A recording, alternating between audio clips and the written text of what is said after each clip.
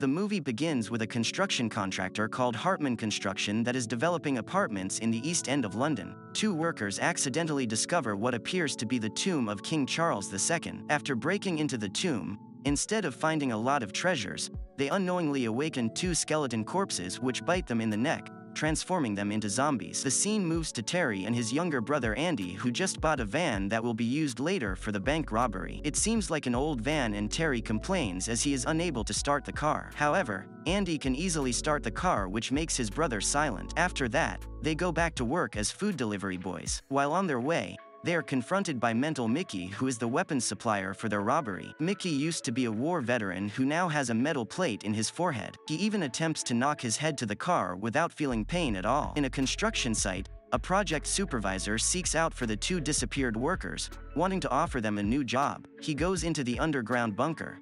Meanwhile, at Bow Bell's nursing home, Ray, Andy and Terry back grandfather, comes out and scolds the teenagers outside the facility. It turns out that they are Daryl customers, who sell pills to them for a living. Not long after, the brothers arrive at the nursing home and also get scolded by their granddad after delivering the meals late. Ray suggests they find another job as delivering meals to pensioners is not a lifetime profession. It is revealed that the facility will be demolished soon by the contractor when Ray forces the engineer, who is doing some measurements, to leave the cafeteria. While all the grandpas and grandmas are eating at the cafeteria, Hamish secretly takes a peek at a sexy girl and he even teases the nurse. Before Andy and Terry depart from the nursing home, they flash back the moment when the boys' parents gave them a short lecture before loading up a pair of shotguns and stepping out of the house to confront the somebody. Presumably, their parents were in a shootout as they now live with their granddad. A few moments later, a news report says that several workers were mysteriously injured in the construction site. The brothers get back to the van and subsequently pick up other team members which are Davy, their cousin Katie who has a lockpicking ability, and Mickey. Davy claims that it is the right time to rob the bank as the security cameras are shut down due to security upgrades. Before arriving, Terry reminds Mickey to hold the fire during the robbery and Davy gives the group stupid mustaches as a disguise tool. Upon arrival, they are welcomed by the bank manager, which makes them confused. It turns out that there was an arrangement between the bank and Hartman Construction and she thinks that they are the representatives from the company. Because the robbers cannot show her the form to get the money, the bank manager becomes suspicious and secretly presses the emergency button. Mickey threatens her with his gun and forces her to take them to the vault. Expecting to only find a few thousand pounds, they are shocked when they see 2.5 million pounds sitting in front of them. They take all the money and attempt to leave the bank. However, they discover that the police have surrounded the bank and order them to turn themselves in. Mickey suddenly shows up with his shotgun and starts shooting toward the police while returning back to the bank. While the elders are having fun, Hamish spots that the zombies are approaching the nursing home, but he doesn't realize that it is zombies. Not long after, the zombies have reached the nursing home and start attacking the nurses, causing chaos inside the building. Ray takes a chainsaw and starts eliminating the emerging zombies. Realizing that the zombies keep coming, those old people run away from there and lock themselves, attempting to escape through the back door, but the zombies have surrounded them. No ways out, Ray concludes that all they have to do is wait until they are picked up by someone. After their bank heist goes awry, they decide to take two hostages, Clive and Emma, and try their luck to escape. However, the police have been massacred as the zombie outbreak has spread throughout the city. Bodies can be seen all around the street and some of them are getting up. They get into the van with the stolen money. Before departing, Andy picks up a dying girl as they make their escape. Unfortunately, the girl turns into a zombie and Mickey has no other option than to blast her with his shotgun. They eventually arrive at an old factory where a wild zombie suddenly appears. Mickey repeatedly shoots the slow zombie, but it keeps moving as he doesn't hit the head. The zombie then bites his arm, forcing Katie to take the shotgun and blows the zombie's head off, though its jaw is still clinging to Mickey's arm. A few moments later, a woman zombie approaches and Mickey immediately blows her head off. He tries to save the infant, but turns out that he is already infected and he has to kick him away into a billboard. The group then get inside the factory while Terry and Katie seek for information from the van radio. They discover that the whole city has been infected.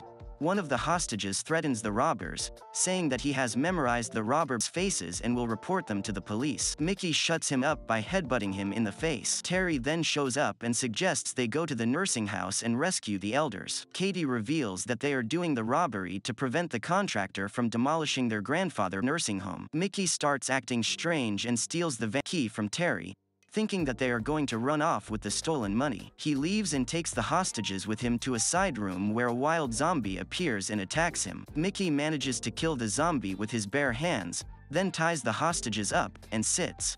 On the other side, Ray sees Hamish having a nap in the backyard where zombies are approaching. The old man can't hear what Ray is saying, but he eventually becomes aware of the situation and starts running towards them while being chased by slow zombies. Losing his patience, Ray decides to come out, punches several zombies, and rescues the old man while being assisted by the others. In the factory, a zombie lunges at Andy by the shutters, but Terry pulls the zombie off him and smacks it with a shovel while Katie shoots his head off with a pistol. When the hostages try to break free, Mickey suddenly turns into a zombie and attacks them. The group try to shoot him, but then realize that his head is made of metal plate. Terry eventually kills him with a grenade he put in his mouth.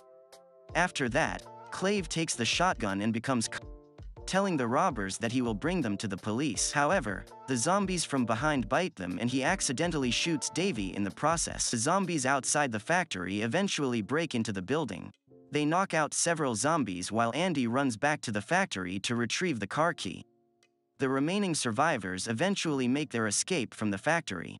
In the nursing home, the zombies are about to break in and Ray suggests they fight them as they are on their own and nobody is going to rescue them. They arrive at a house where Emma's ill sister lives to rescue her, only to find out that she has turned into a zombie, but Emma decides not to kill her, hoping that they back find a cure someday. Realizing that they haven't got any bullets left, they head over to a container yard where Mickey stores all his weapons.